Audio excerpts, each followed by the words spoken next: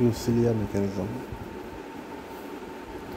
As you see from the figure, it's a Peaucellier mechanism. The pin Q is constrained to move along the circumference of the circle by means of OQ, link OQ. The link OQ and a fixed link OA are equal in length because they are the radius of the circle.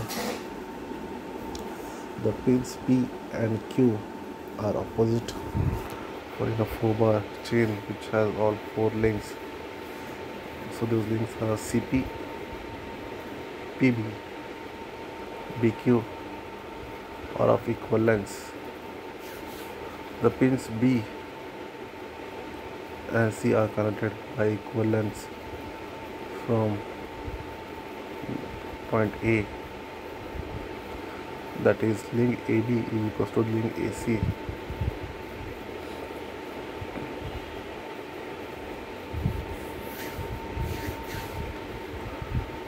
the product AP remains a constant as the link circuit uh, rotates and it can be proved as follows. Join BC which bisects PQ at F. Then are the right angle triangles AFB and AB BFP we have AB square equals to AF square plus AP square and BP square equals to BF square plus FP square. Subtracting both we have AB square minus BP square equals to AF square minus FP square.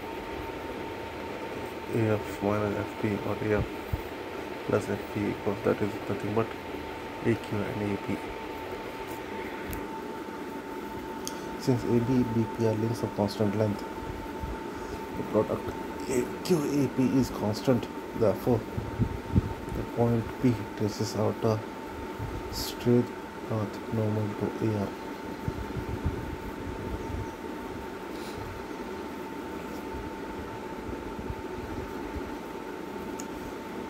next is Roberts mechanism. So this is also the four bar chain. As you see from the figure PQRS is a four bar chain. The links PQ and RS are of equal length. And tracing point O is rigidly attached to the link QR that is the link 3 on a line which bisects QR at right angles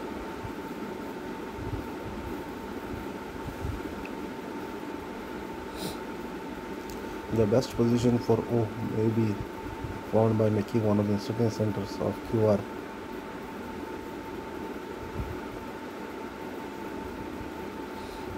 The path of O is clearly approximately horizontal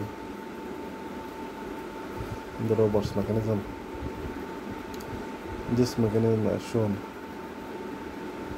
is used for linear guidance of pressing point and coupler driver mode.